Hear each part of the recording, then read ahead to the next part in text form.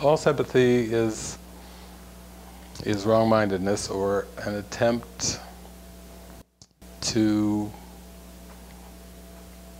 yield into temptation. And it's it's kind of an interesting topic with the Course in Miracles because it's contrasted with true empathy, which is something that Jesus says of all the ideas that he's teaching, it could be perhaps the most difficult to grasp. Because in the human condition, wearing the mask of being a human being, it's seemingly natural and normal to empathize, put yourself in someone else's shoes. Oh, that's terrible. Oh, you poor baby. Oh, I can't believe that happened to you. The the commiserating uh, with with what we could say is error, erroneous thinking, and trying to actually give the error away, you know, or join in error. So I would say that false empathy in the most basic core definition is trying to join in error. And true empathy is is to align with the truth. And practicing true empathy is quite a trip in this world, so to speak, as you go through it, because there's so many temptations. It's like um,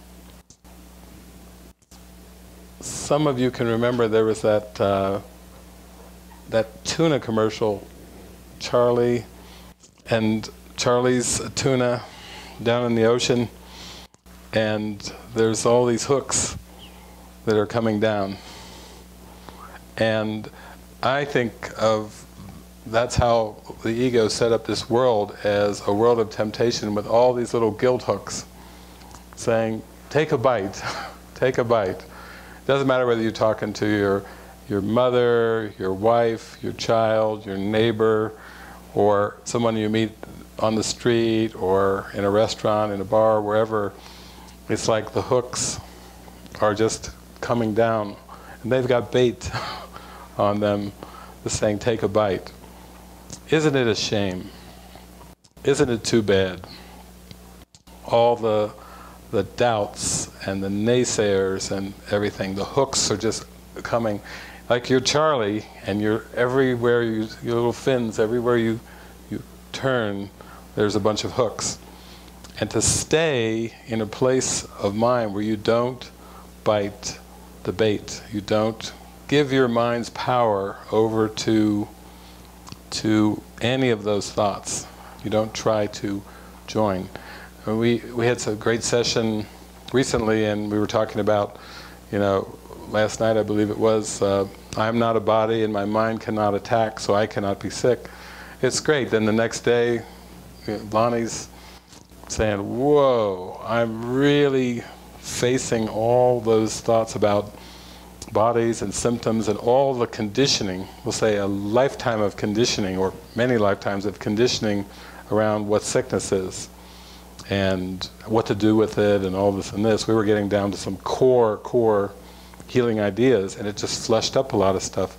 There's, there's those hooks again, hooks in the mind. So to be invulnerable, to be joyful, to be happy, to be free, to be peaceful, all the things that we've heard about for centuries, you know, that are, that are the highest qualities to aspire to. You know, Janis Joplin, freedom's just another word for nothing left to lose. Wow, what a state of mind. Nothing left to lose. Wouldn't that be fun? Could you imagine how much fun if you had nothing left to lose? If you had, we'll say, lost the idea of loss. you know, where you just felt this joyful fulfillment and there's no loss possible, then that would be freedom. I mean, true freedom, not freedom of the body. I live in a free country, unlike those in prison countries. I live in a free society. Ha ha. you know, we've heard those words, but but free country is, a, is an oxymoron. It's a contradiction in terms. Free human being is a contradiction of terms. You know, free society is a contradiction of terms. Freedom of speech, freedom of speech, we've got freedom of speech in our Constitution, but what does that even mean?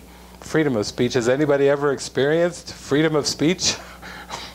There's a lot of hell that comes with, with expressing, you know, look at Abraham Lincoln, look at Martin Luther King, look at Gandhi, you know, look at all the way down, anyone you want throughout the centuries, freedom of speech. You know, it's, it's been, there's hell to pay for freedom of speech. You know, everyone who's spoken up and just, told their, you know, Jesus got three years in there, and he goes like, kill that guy. We've had enough of that freedom of speech right there. Let's put an end to that. So what we're talking about is coming to true empathy, coming to complete alignment where there's no sway, there's no compromise, there's no give. It's really what Jesus taught us. He said the, the true freedom is, is really in hearing one voice.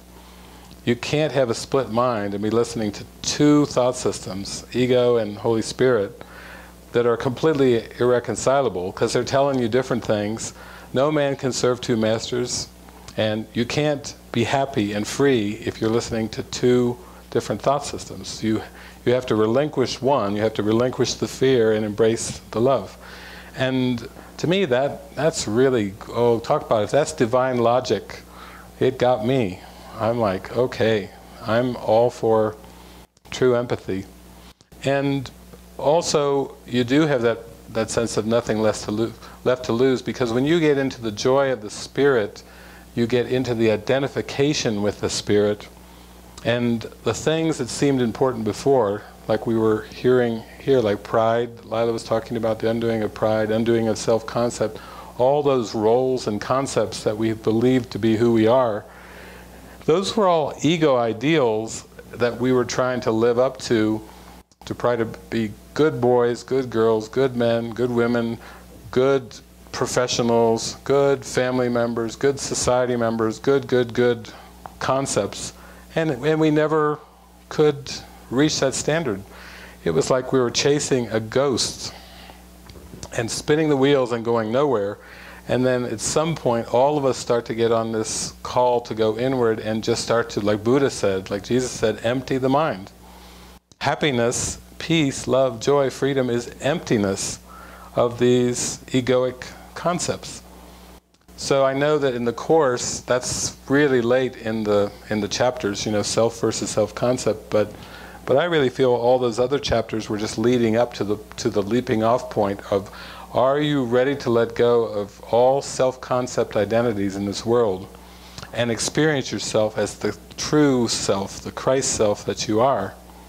And I followed all the divine logic and divine metaphysics, but I couldn't just leave it as an intellectual thing. For me, I, I really had to believe I was being called out of the world, out of the thinking of the world.